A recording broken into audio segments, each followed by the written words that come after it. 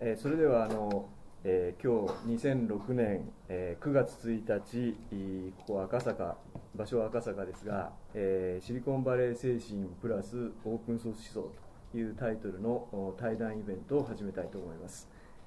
えー私梅田もちおと、えー隣のこちらは、えー吉岡弘隆さんよろしくお願いします。えーおいおいあのお紹介ということで、えーそれぞれお互いに紹介をするというようなことで始めたいと思いますが、えー今日はあの、えーこの対談イベントをビデオ録画して、えー今日のうちに YouTube にアップすると、えいうことで、えー企画をしています。で今日のあの対談イベントは、えーこちらですね、えー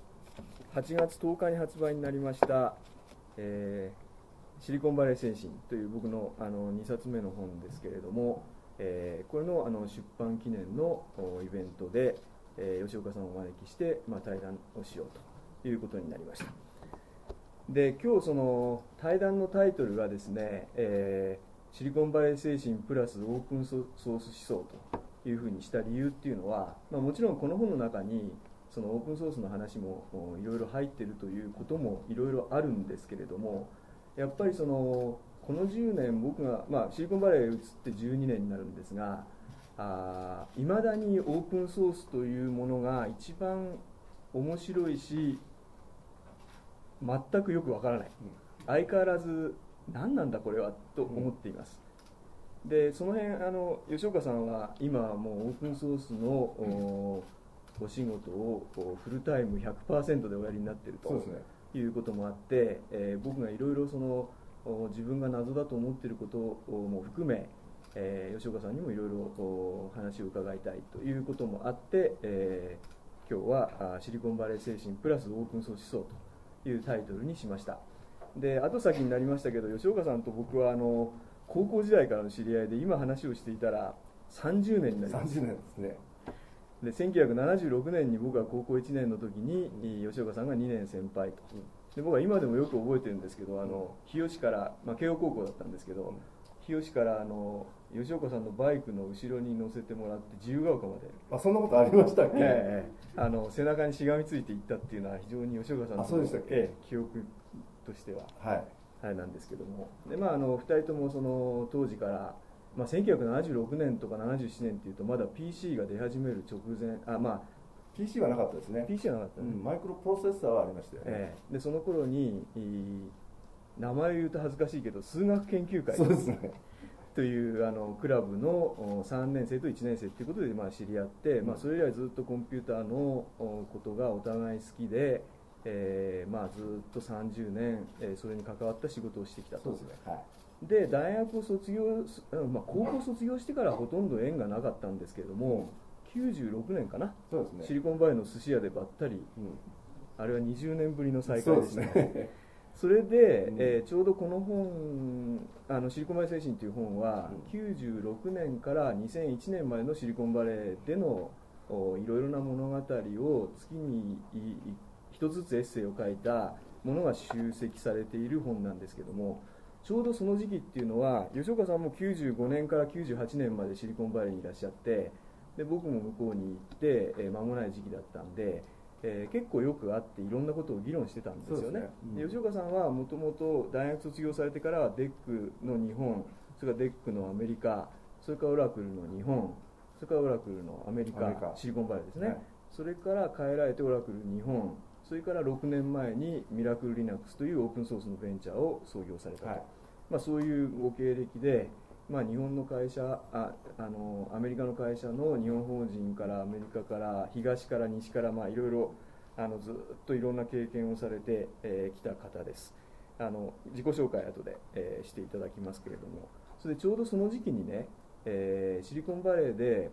僕と吉岡さんがいつも議論してたのはうん。オープンソースだったんですよね、うんそうですね。特に98年の丸1年間ちょうど吉岡さんがいらっしあののシリコンバレーで過ごした最後の1年間っていうのは、えーオープンソース勃興の1年で、でこの本の中に書いたエッセイも例えばそのコンファレンスに一緒に出かけてあのコンファレンスでどんなことがあったなんていうこともこの本の中で書いてるんだけれどもそのコンファレンスにはあ一緒に出ていたとかいうのは結構ありました。というようなことでそのこの本のその中の、まあ、今から思うと特に若い人の感想なんか聞くとこんな歴史があったんですか？歴史になっちゃったんですね、うん、すごく早く動くから、うん、あの歴史なんだけどやっぱりそこのところで、えー、僕と吉岡さんが98年頃にもう結構真剣に何なんだこのオープンソースはってね、うん、そういう話をずっとし続けてきたのが今改めて検証するとどうかとか、まあ、そういうこととかあるいはそのシリコンバレーという場所、まあ、シリコンバレー精神というのとそのプログラマーのありようとか、うん、それとオープンソースの関係とか、まあ、オープンソースっていうものを考えながらシリコンバレーや日本を考えるっていうのは一つのその知的思考実験としては大変面白いものなんで、うん、まあ、そういうことも吉岡さんと話をしてみたいと思います。僕ばっかり話してもあれなんで、えー、ちょっと自己紹介、はい、えっ、ー、と南ナックの吉岡と申します。えっとですね、この部屋の中で、えっと、梅田さんを知ってる方、知ってる方っていうか、あのそ本を読んだり、ブログを見たりという意味で、名前を知ってる方、どのくらいいらっしゃいますかね？ほぼ、ほぼ100%と。えっと、私のことを名前ぐらいは知ってる人っていうのは、大体どのくらいですか？あ、結構いますね。あの3%ぐらいかなと思ってあのアウェーでの戦いは厳しいかなと思ったんですけど 意外とそうでもないんでちょっと安心しましたあの自己紹介させていただきますと、えっと、先ほど、えー、梅田さんからのご紹介の通りですね、えー、1976年に彼が高校1年生私が高校3年生で、えー、数学研究会というこう結構オタッキーなあの、えー、頃から知り合いまして、えっと私があのシリコンバレーにいた頃そのオラクルでデータベースのエンジンを開発してまして、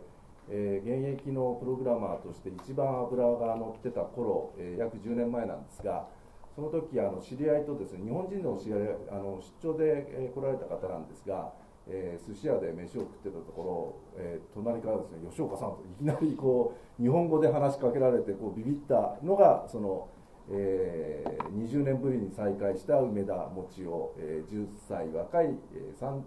当時はいくつぐらい？35、6です,、かね、えー、ぐらいですかね、えー、の梅田さんでしたと。で、えー、その当時そのどうですかね、まあ、時々、